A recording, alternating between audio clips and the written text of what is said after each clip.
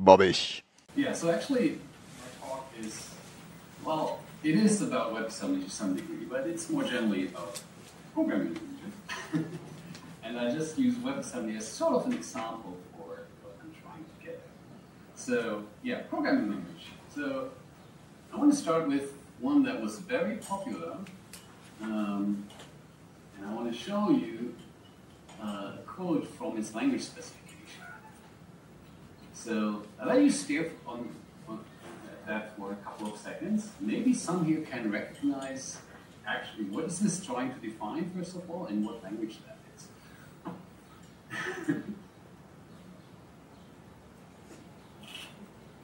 you have a guess, Peter? Yeah, uh, Fortran. Yeah, indeed. So this is Fortran 4 from 1971. Um, and the only reason I use Fortran 4 is because that's the oldest version I could find online. Um, what this is defining is the syntax of the if statement in. Um, and it's a wall of text, right? You, that was the state of the art, how people mostly defined specified syntax these days. And of course, from our perspective nowadays, you think this is crazy. Who wants to parse this wall of text? How do you extract the actual information there? It's just like we're used to reading this instead, right? It's so much more concise and communicates the intent so much better. It's just like BNF, right? Context-free grammar. I would assume that most professional programmers are very familiar with this and can read a, a grammar. And the idea is actually, it's older than Fortran 4. It's dating back to the 50s. I think it was mostly invented, well, at least BNF, uh, as part of the ALGOL standardization in the late 50s. So the idea is quite old, and it has caught on since it was kind of the standard method for since. Andreas, Yeah. speak up a little bit. Speak up a little bit, okay? Um, I'll try. Um, okay, I'll, I want to show you another specification for if then else. Um, this is specifying something slightly different. It's specifying execution. Anybody recognize what language that is? I mean, it's a bit harder because if then else is pretty generic nowadays. But um, yeah, so that is Java, and that is actually the, the current language specification of Java. So again, we have this wall of text, right? and again, it's very hard to extract the actual information there. Um, you another example. Um, this one is JavaScript. So it's a bit more structured, but it still has this very like prose-like style, COBOL-like formulation of what's going on, and, and still rather verbose and hard to extract what you what you really want to know there. I mean, for if then else, you can probably see quite quickly because everybody knows how if then else works, right? But if you didn't know, it would take you quite some time to figure it out from this specification. Um, so, really, the information you want there is just these two things, right? Um, you want to know that if the condition is true, then the if statement evaluates to the first one, to state one here. If it's false, evaluates the. That's the essence of what if then else is. And really, if you want to understand if then else, that's essentially what you want to know, not all these other, like, I don't know, verbiage. Um, and this idea is also not new. It's all it's called structured operational semantics, some variations of it, invented around 1980 by Gordon Plotkin, and it's kind of the standard way nowadays to specify some execution semantics of programming language in the academic community, essentially. So it has been established there for 34 years. Um, I give you another example.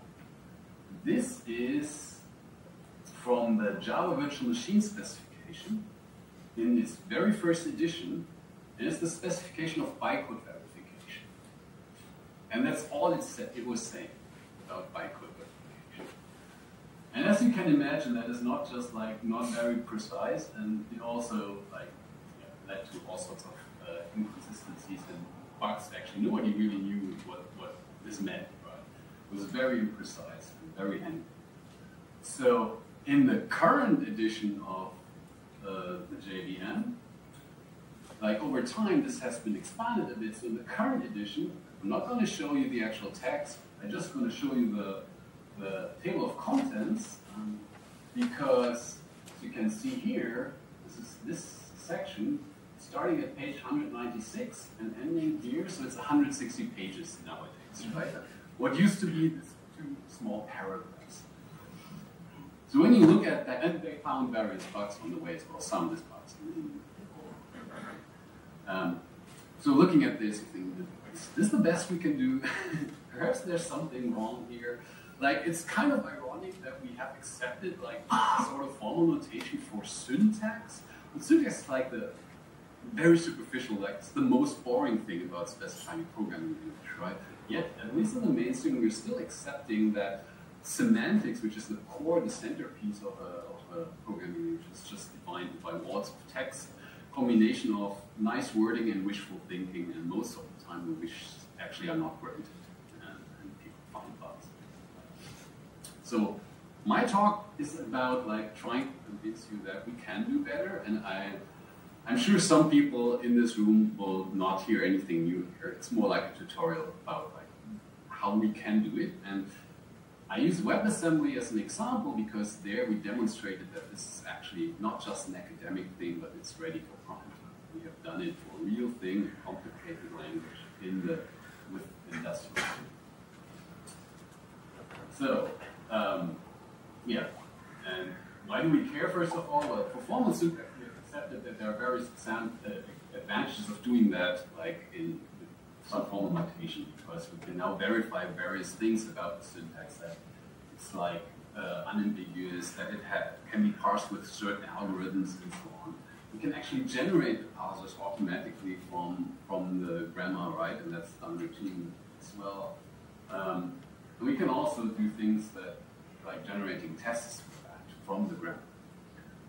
But all these advantages actually also apply to formal semantics. So when we have semantics in terms of formal rules, then we can verify something about them. For example, that there are no missing rules or unreachable rules. That the whole execution that we define as semantics is unambiguous, so that we have a deterministic meaning of what the program is.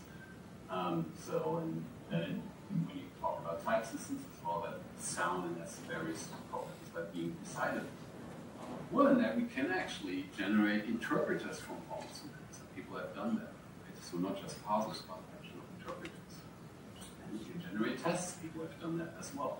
It's not as routinely as as parsers, not even close, but it's possible. Um, but it doesn't stop there. Um, you can also, once you have formal semantics, you can also prove all sorts of things. You can verify. So you can verify a compiler. To do that, you need to know what it's actually implementing, and to know that you actually need properly precise semantics. Likewise, you can verify programs. Um, uh, you can verify that certain programs have the same meaning, so this is important when you talk about modularity in installations.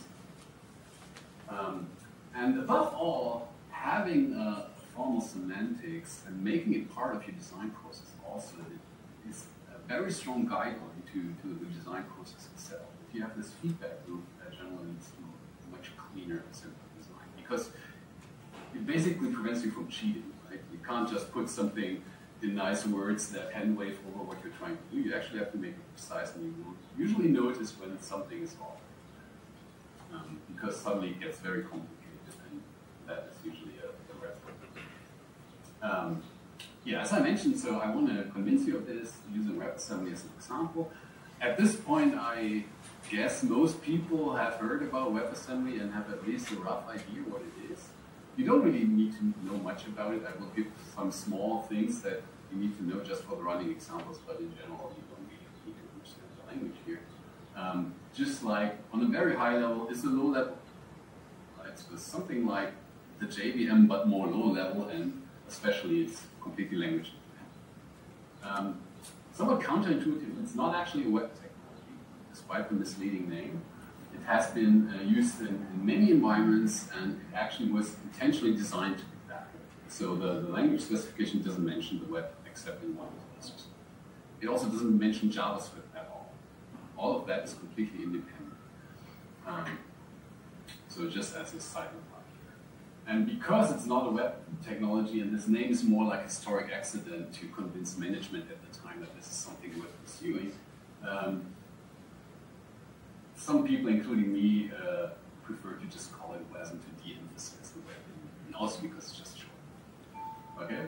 Um, okay, so let's get started. Um, oh, yeah, I have another slide about all the kind of design goals and constraints we had with WebAssembly, which I won't go through here. There, there are some that have to do with the semantics of the language. There are some that have to do with the presentation to make it like compile efficiently in small code that you can stream parallel.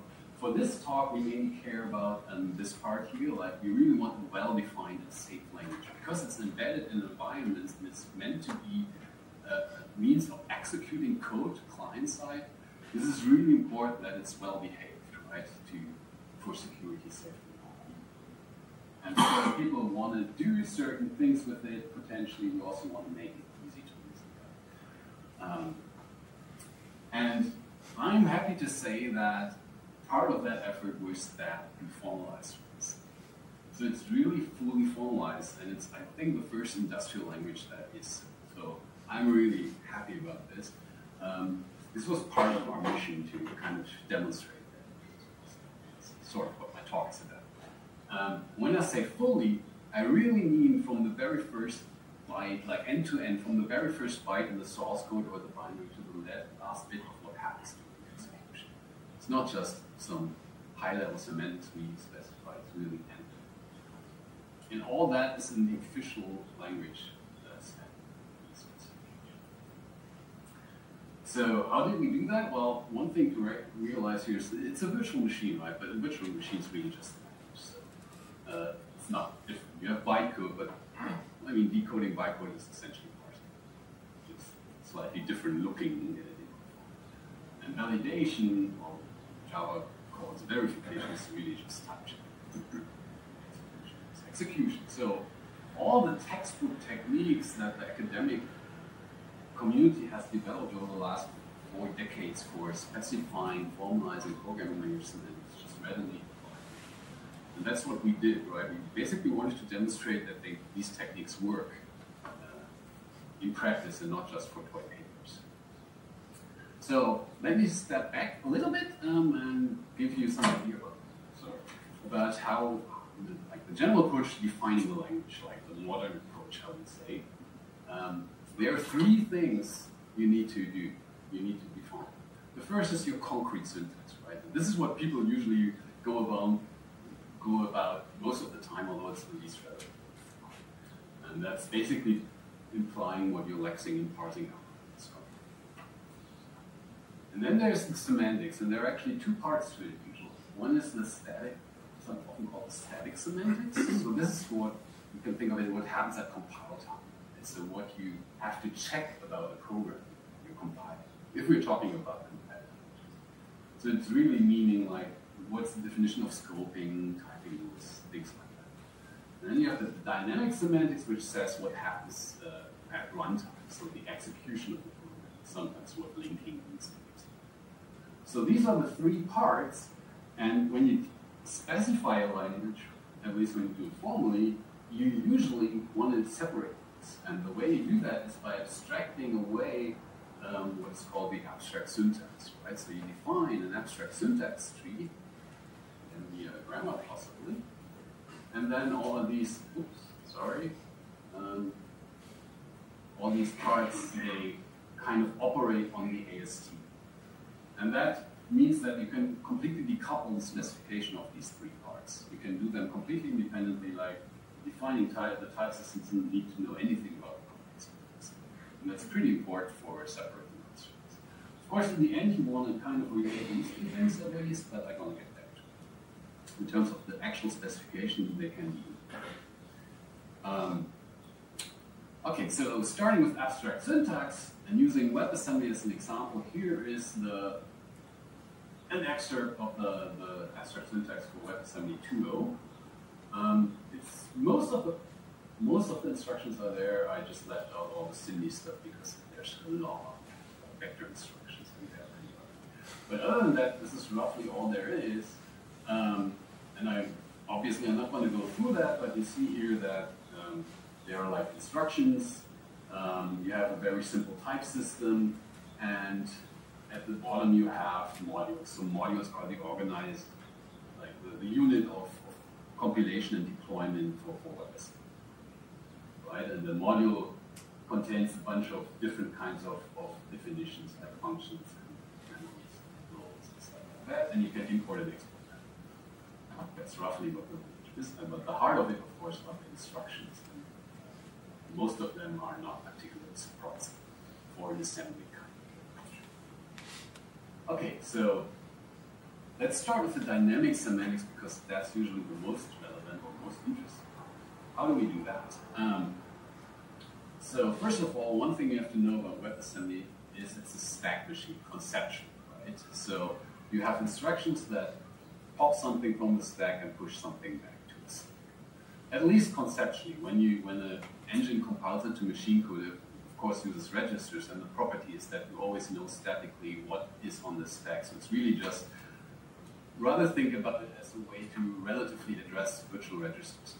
It's completely static stack. But conceptually there's a stack and with for the all. So for example, a small snippet here, this like pushes two constants to the stack and then adds them by popping them. So basically what we want to know about this program is it's equivalent to this program, right? Uh, we're just evaluating this addition, and we could reduce this program to just that. And that's exactly what we're going to do. That's how we define the semantics of WebAssembly.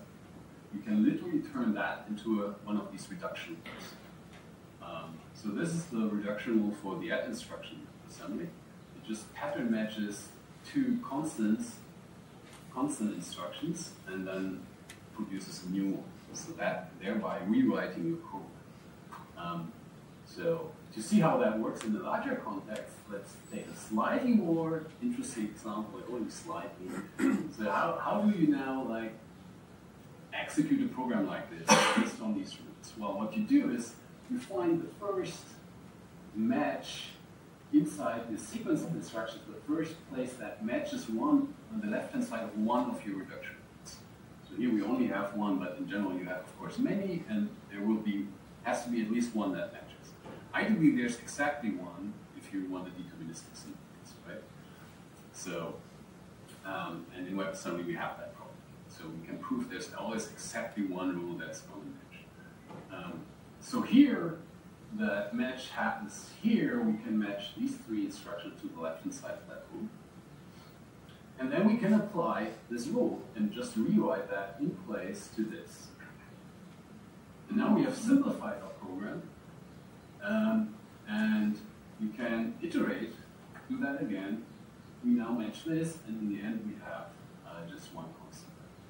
And the way to think about it now is that we keep iterating this step until we have only constant left constant instructions left. And those basically define the values, the result values of the um, so the program terminates when no further reduction will apply, which should be when it's entirely reduced to values.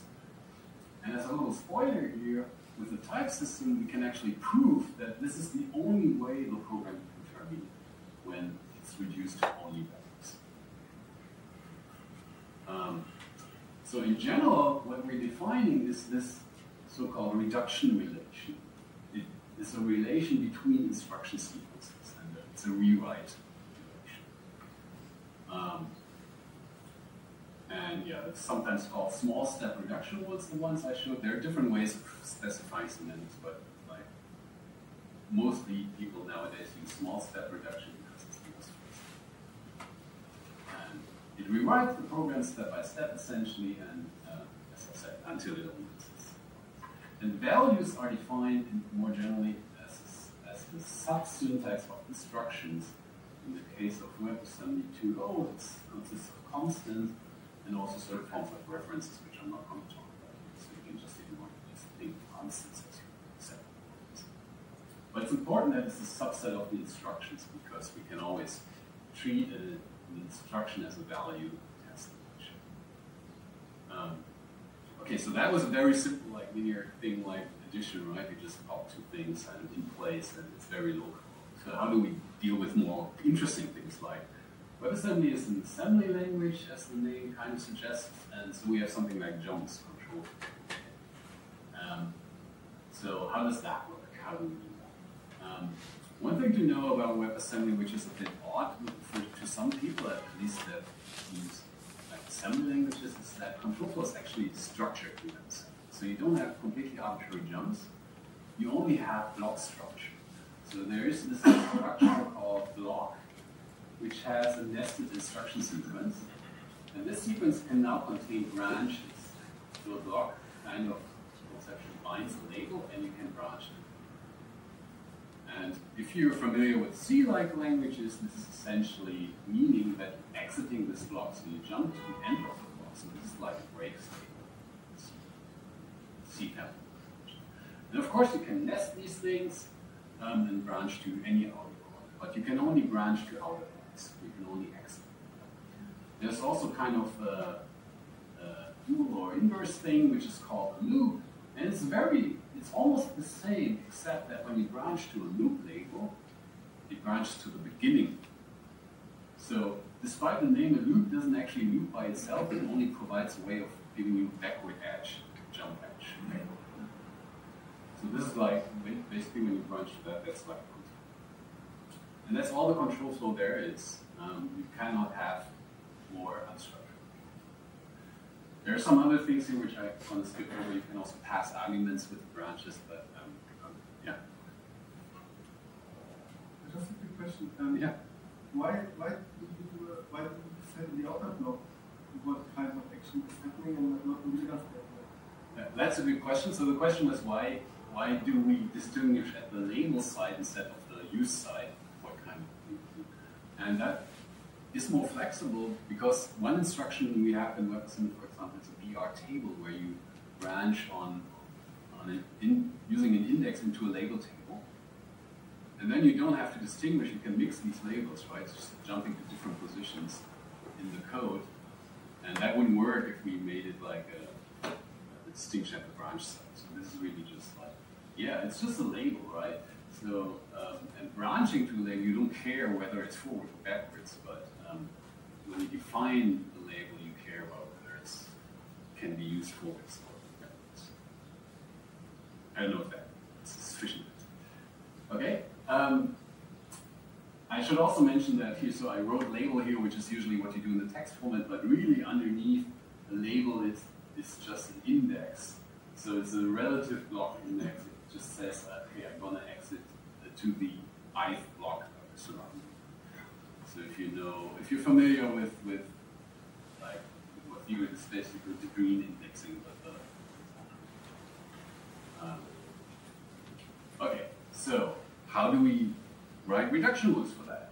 So there we need several rules. One is perhaps the simplest one. So a block is always this kind of thing um, with an instruction sequence inside. So the simplest case is when we have fully evaluated the instruction sequence inside, which means there are only values. In that case, we're done with evaluating the block and can just exit it, meaning uh, uh, just a reminder what values are, that they're a subset of instructions. We can just um, exit the block and leave the values on the stack. So that's the, the easy case, finishing a block, completing a block. Now what about so there are two cases. So you're always in this form where the instruction sequence inside, you have a bunch of values on the left. So this is the part we've already evaluated. Another way to think about it, this is your operand stack. This is what's currently on the stack. And then you have a branch. So this is the next thing you need to execute. In this case, it's branching to index zero, meaning it's actually referencing this immediate block. So in that case, yeah, we want to exit that block. What we do, we evaluate the empty instruction sequence because we're now done with the block, so we can just exit it. It's all there is left to be done. And if you do that as part of a larger instruction sequence, then that means you're going to resume from, with the instruction after that. Yeah? And, and what about the stars?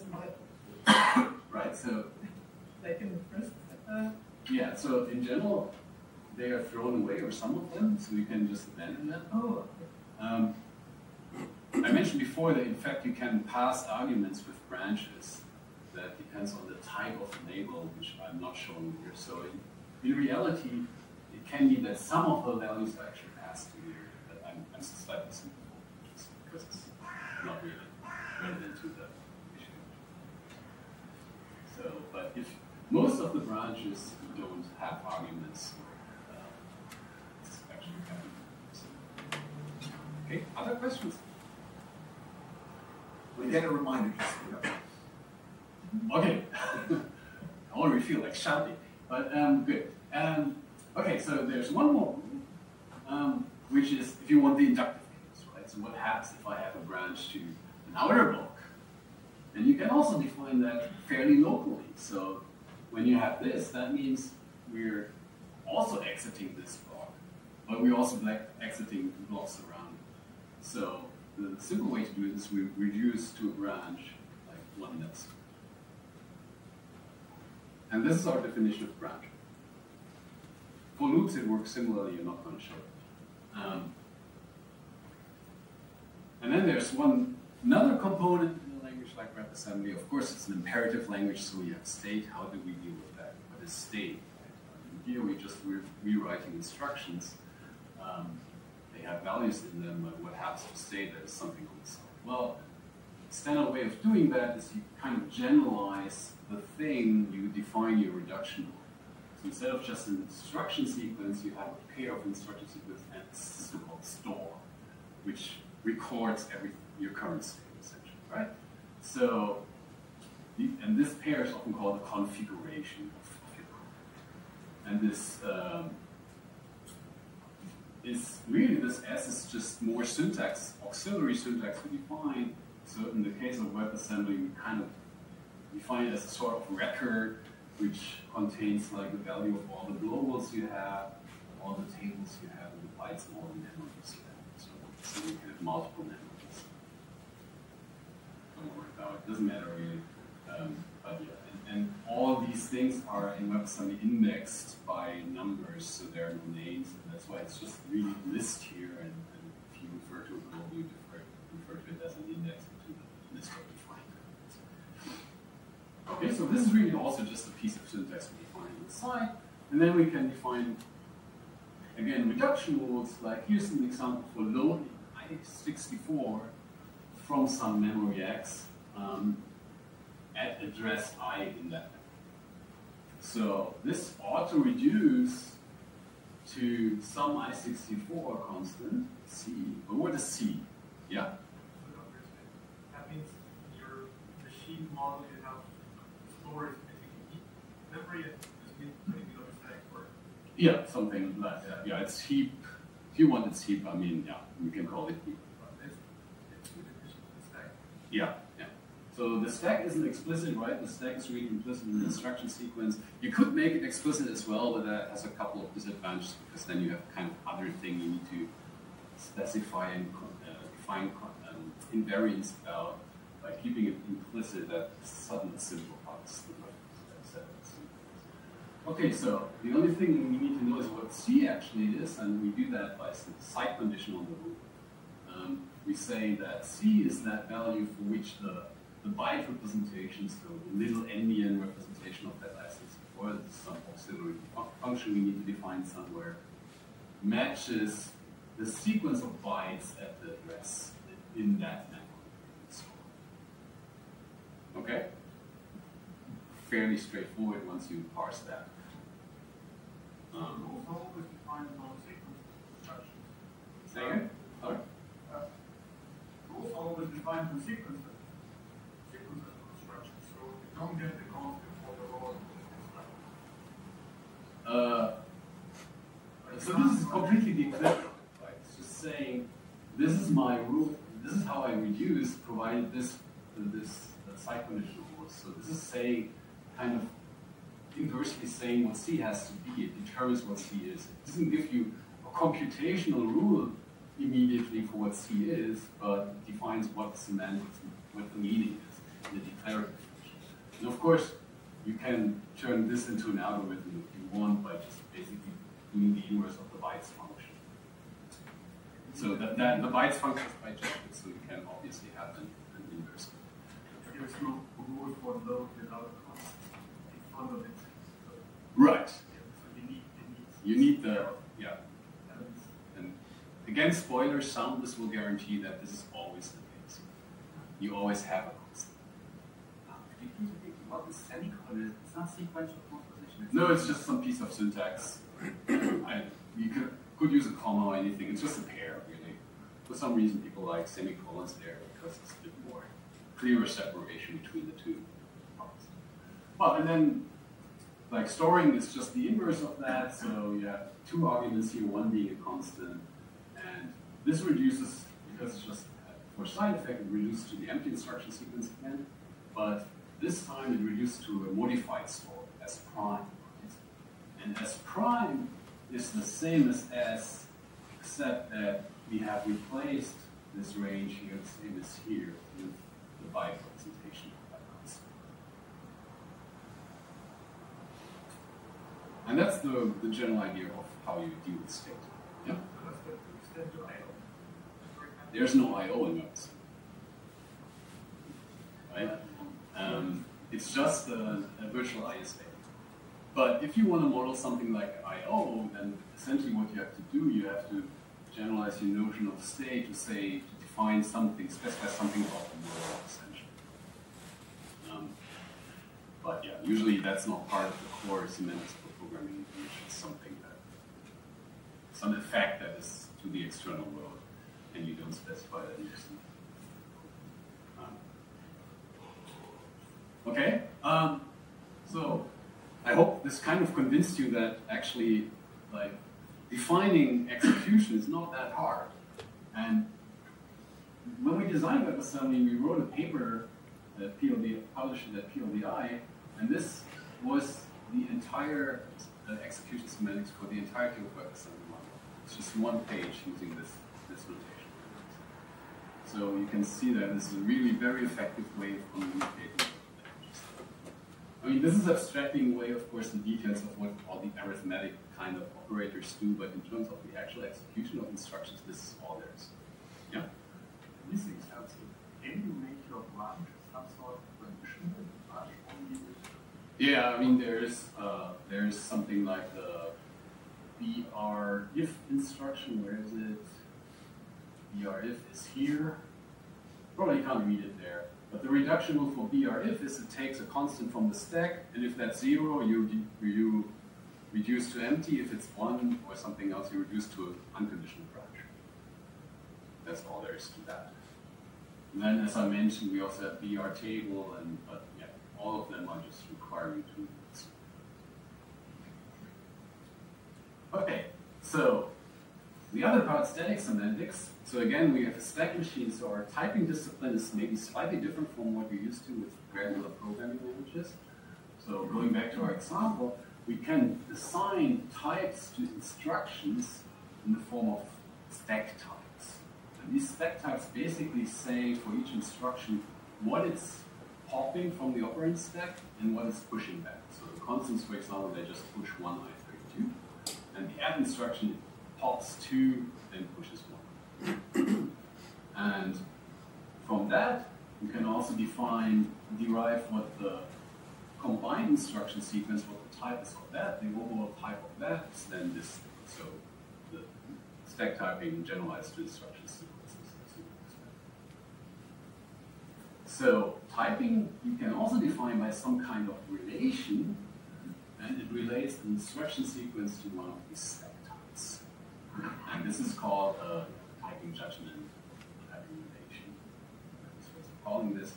Um, said, so the T1s are what this instruction sequence ultimately pops from the stack, or viewed differently, it's what it expects on the stack to be able to execute. And T2 is what it returns, essentially. Right? So it's like a function.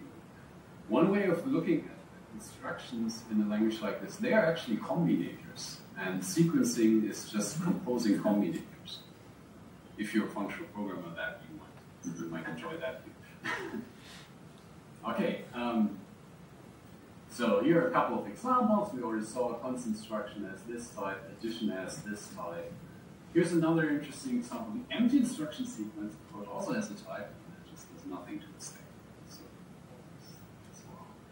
um, what, what about a non-empty instruction sequence? Non-singular, non-empty. So what's the type of composing two small instructions? So this also is supposed to have some some type, T1s to T colon T3s here. But where are they coming from? Well, this depends on the types of these two instructions. So um, this holds if we know that the first instruction sequence somehow has this type, it produces some T2s, which is what the other can consume. And then you can just plug them together and get this. And so these are like conditions for this to hold, and usually people write it like this, called the deduction rule or inference rule, um, where the things on the top are called premises, and the things at the bottom, the thing at the bottom is called conclusion. And when you have rules like that, you can basically plug them together, and that gives you the, the overall type.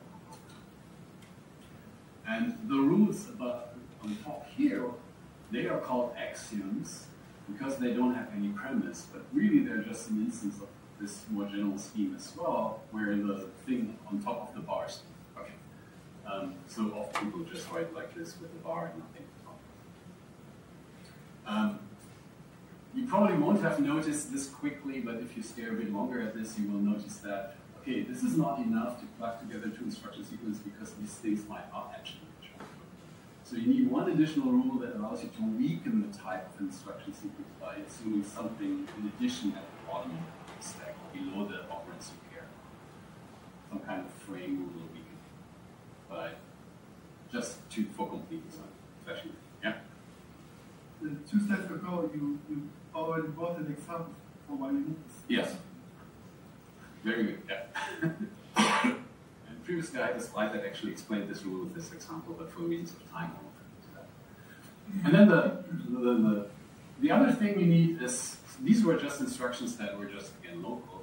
But similarly with execution, where you need state because you have something on the side, Python you sometimes need something on the side. So for example, if you have a global get instruction, which gives you the, the value of some number x, that returns some something of some type, where does this type come from? right? so um, the thing is you define something called a context, C, where you can look it up. So this context records the types of all the things that are um, declared or defined in scope. Um, and it looks a bit like the, the, store before, except that it has types in it, not values. Um, but this is still not good enough because here we just like referring to C, but where's C coming from? What is our current context? So actually to make that work, we need to generalize or extend our uh, typing judgment a little bit with this thing on the left. So this now is saying, well, this typing assignment classification holds under providing the context. And this odd symbol here is the tail end um, it's called turnstile, that's the title of my talk because that is the standard that appears in all these type systems type rules. But it really just means, okay, I need to know this to be able to derive this. Um, and with that, we can now define the, the proper typing rule for get, where C is kind of like an input to the rule, so we can look up the type of um, Here's another example of the use of context, which is with a block instruction. So I sometimes omitted the function type here, that's a type annotation on the block, which actually tells what this type is. Um, so the rule for typing blocks actually that it has exactly the type that FT says it has. Um, but of course, for that to make sense, we also have to verify this that this instruction sequence matches that type. So we have a premise here that says that the instruction sequence also has the time. And then the whole block has accepted. Um, and the interesting thing now is that here, in this premise, we are extending the context with knowledge about this additional label. Because this block kind of binds a label, which we can only use inside that block. So locally, in this rule, we extend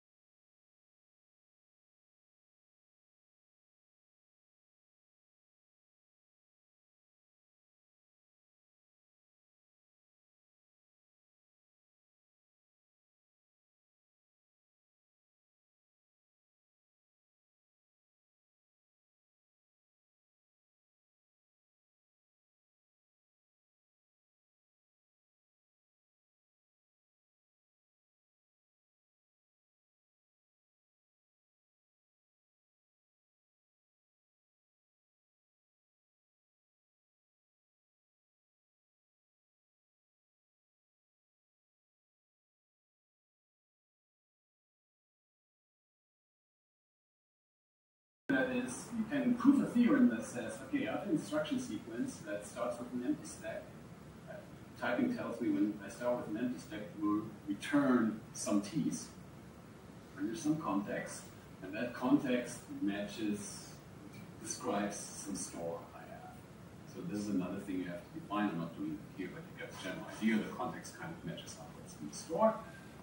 And then two things can happen. Either this instruction sequence, when I keep uh, reducing it, it diverges, right? So it never reaches an end. So when you have loops or recursion, this can happen. Um, but if it does not diverge, then the only thing that can happen is you terminate with values.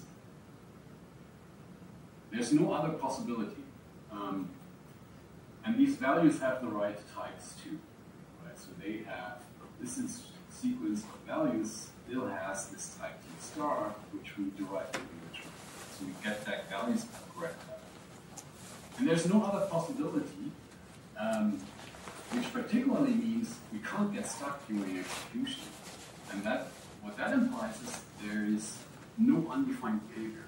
Because if there was undefined behavior, what that would mean is there is some rule missing somewhere. So there's a case where we can't proceed. And when we are able to prove that, we know this can't happen. We have proof this can't happen. So every possible situation during execution is relevant.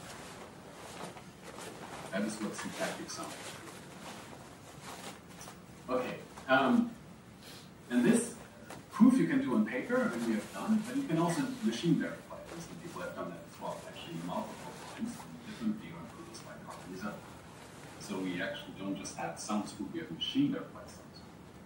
Um, but we didn't want to stop there. We're now going next level. Um, how much time do I have? Like two minutes? Two minutes, okay. I'm trying to be very quick. So yeah, so all this formalization is, is in the standard, and um, in the standard, but also in the standard is some plain English because many people want that for accessibility. That's understandable, right? So basically, the standard has two formulations, two equivalent formulations of the same thing. One is formal one, and one is in plain English. And this is kind of an excerpt from the, the actual spec. You see the formal rules in here, but most of it is like kind of all text. Um, so the process is essentially a manual rendering, text rendering of these formal rules, which I did by hand, and that was very laborious, and it blew up the kind of specification tremendously, obviously. Um, and both these formats are a lot of work to do, and they're very error prone. So we have code reviews uh, for changes to the spec, and it's very hard to do proper code reviews both for LaTeX, because it's such a immutable language. So all the methods in LaTeX. But also the markdown for the code is like super verbose. Very different friendly, which is a nightmare. Um, and this matters because the WebStem was not done right? We have many proposals going on for extending the language, like 8 are already completed, which is essentially what's WASM 2.0 that shipped like two years ago. There are more than 25 still active. They're sometimes quite large, so there are proposals for which the diff to the spec repository as a whole is 110,000 lines of code. Um, most of that is not spec itself, but test suite, but still like maybe 20, 30% is the actual spec. Um, yeah, and you also need have the reference interpreter, which you also So that's kind of like yet another rendering of, of, the same semantics, right? So you have all these different artifacts you need to propose, uh, produce as a proposal, champion, and that's a lot of work and kind of redundant. And error prone. And as language people, we think like, okay, if we want three different equivalent outputs, we want kind of a language that does that for us, right? Um, and that's what we're working on right now. We're defining a DSL for, for writing the WebAssembly So the idea is it's a single source of truth um, from which all of the other things can be generated, and which is very is much more easy to work with, and you have additional error checking and these things. Um, and in particular, we can do both the math from it and the natural English language. Nat for some definition of natural, but, uh, uh, right. So this DSL here is one quick example of what it looks like. This, these are some of the typing rules, and you can probably recognize the ASCII art from kind of the rules I showed you before. And then we can render that into nice writing. Similarly, reduction rules, we can render that into that thing, um, which are like the rewrite rules we saw before.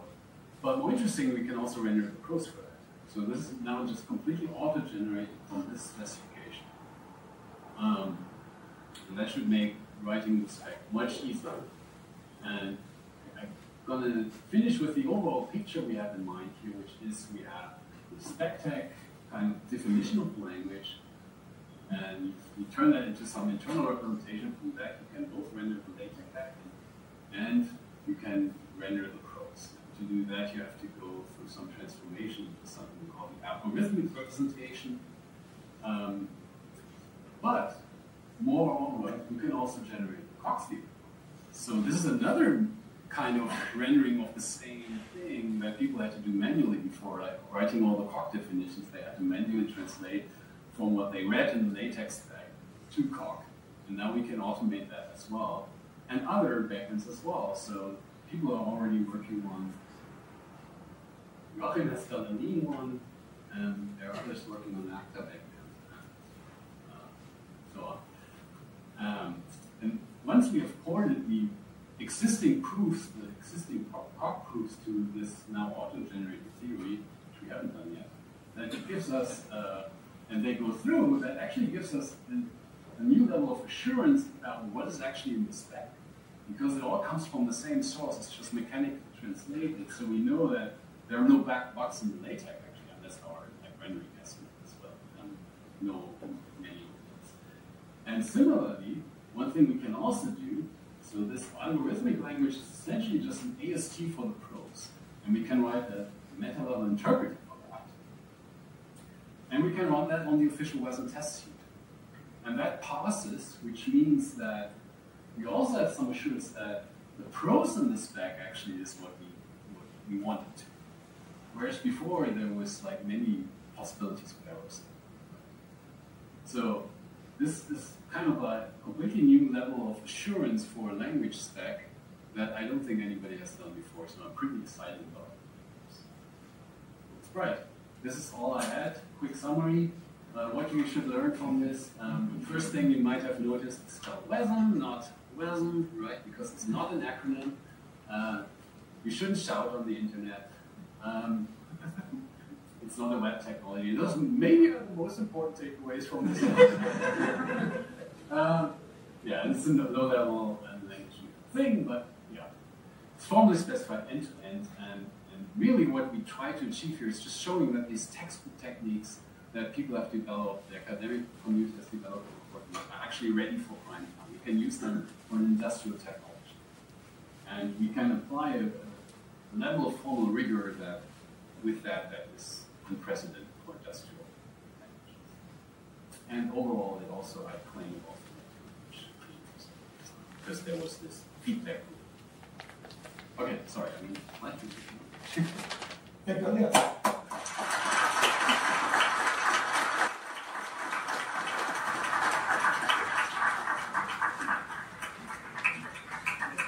Two questions. I work for you swiftly on this first.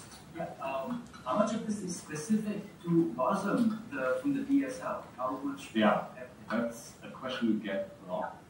So the question was how much is specific to, to WebAssembly, right?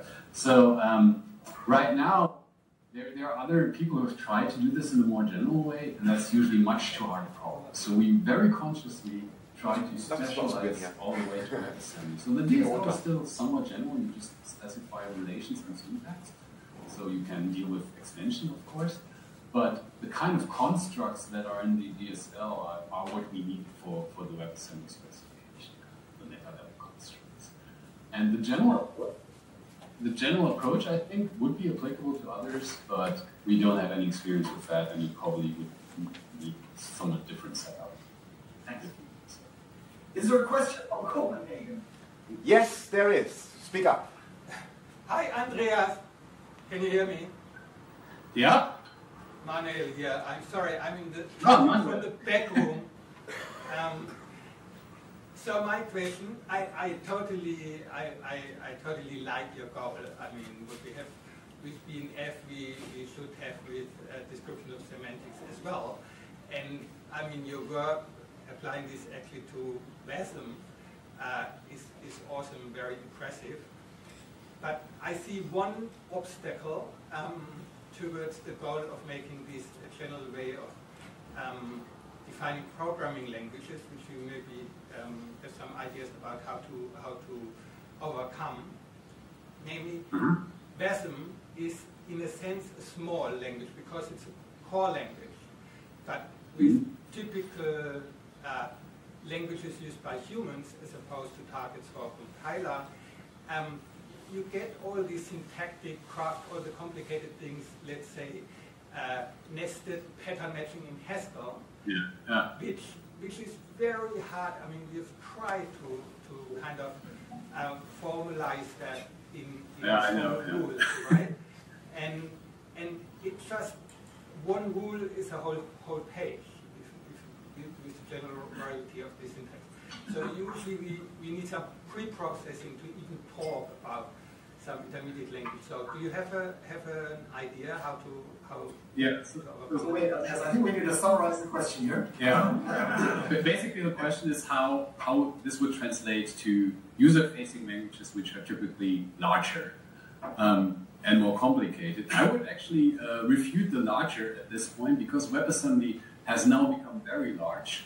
Most of, so especially the next version we are working on, which now has 300 vector instructions, it has garbage collection, it has threading, it has a lot of things. It's actually quite big language at this point, but we still have managed. So with SpecTec, we have already specified all these things, and it just worked out. It was part of the proof of like the validation that we could do this. But I give you that at least the the complexity uh, of these features. I mean, it's, it's, it's a whole set things, but in general, the complexity is somewhat smaller than what you see with the typical languages. Although the type system also got quite a bit more complicated with GCV, now with recursive types and the structural subtyping and all that. So, yeah, I don't really know whether how, how well it would work, but I would love to see people try. And of course, one thing to note is that we are standing on the shoulder of giants here, right? People have done this before. Um, for standard which is a smaller language than, than WebAssembly, but this was basically my big inspiration for doing this. Um, because they showed this is possible. And we're just trying to translate that to, to yeah, industrial settings. So I think it would be possible, but it's definitely not like a free thing. It requires quite a bit of work and compassion. Yeah, maybe we should hesitate when we're making those user-facing languages so big, right? Yeah, that's another point. Yeah. This, this, as, as Simon said about, I think it was Simon who said that about monads, right? They keep you honest. This is something that keeps you honest about language design. You really see the.